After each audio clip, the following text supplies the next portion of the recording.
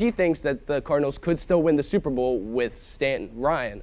What do you make of this comment and the Cardinals overall? No, Logan, I, I don't agree with Bruce Arians. He's just saying that because you know there's a new guy stepping in now, and he's gotta he's gotta you know bestow the confidence in his Stanton. Stanton's been in the league for many years now. He's 30 years old, and over.